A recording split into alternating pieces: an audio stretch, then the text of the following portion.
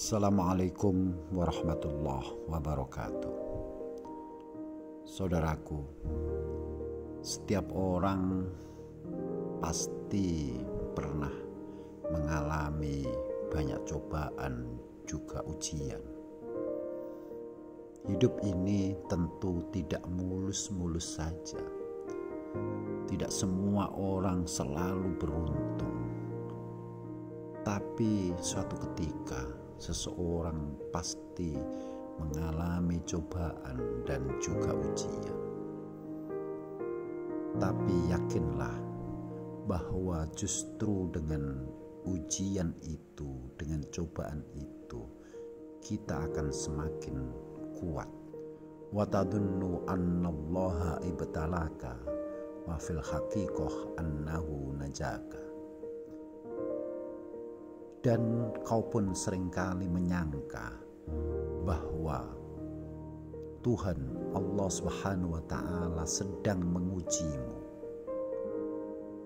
Tapi hakikatnya, sejatinya Dia Allah Subhanahu wa taala sebenarnya sedang mempersiapkan segalanya untuk menyelamatkanmu, untuk menjadikanmu orang yang kuat, tahan banting dan tentunya Allah Subhanahu wa taala sering kali dengan cobaan itu justru menjadikan kamu menjadi orang yang sukses, orang yang bahagia. Bukankah seseorang untuk naik kelas dia harus diuji dulu? Nabi Ibrahim mendapatkan julukan Khalilullah menjadi kekasih Allah harus diuji dulu yaitu dia harus menyembelih putranya. Begitupun Nabi Yunus.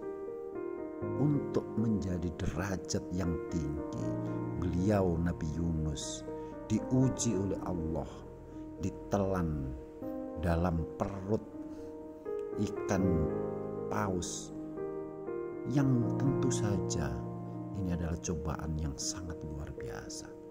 Begitupun Nabi Ayub diberi cobaan oleh Allah Subhanahu wa taala dengan penyakit dengan sakit yang tidak sembuh demikian lamanya.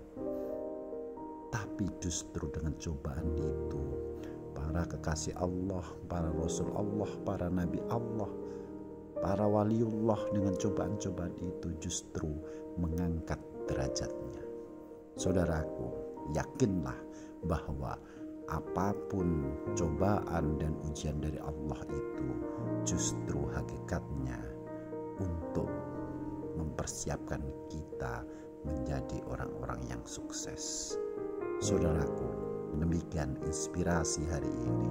Semoga kita tetap menjadi orang yang kuat, yang kokoh, yang tahan banting. Assalamualaikum warahmatullahi wabarakatuh.